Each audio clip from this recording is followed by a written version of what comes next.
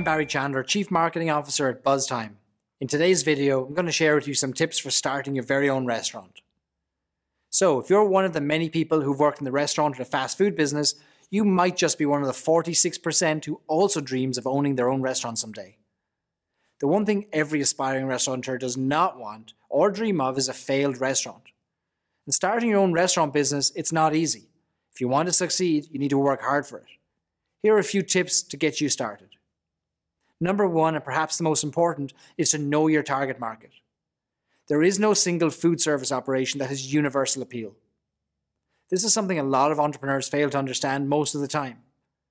The reality is you can never capture 100% of the market. The best you can hope for is a market which will allow you not only to keep your business afloat, but also to make you profits. Look at the category of customers and study the particular market your business will focus on. Number two, now that you know your target market, is select the right food concept. When eating out, patrons want to be delighted. They want to have an experience.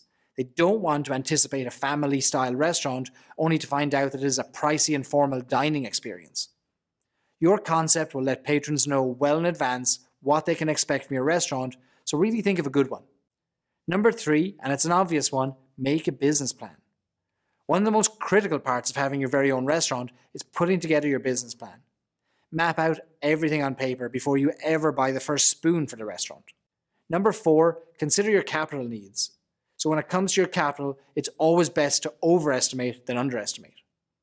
Always plan on having six to nine months of working capital when you start. You're going to be really surprised just how quickly the expenditures add up. Hire the right people.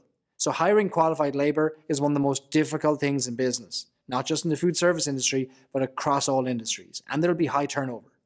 So develop comprehensive HR programs so you can determine exactly what you want people to do in the business. Number six is to never be cheap when it comes to your guests. So your guests, your patrons, they're the lifeline of your business. Without them, your business will collapse. So the most important money you'll ever spend is what you spend on your guests. Marketing and promotion is point number seven. So if you don't promote your business, people won't even know that it exists. Conduct research regarding marketing practices which will best help your business and your target market.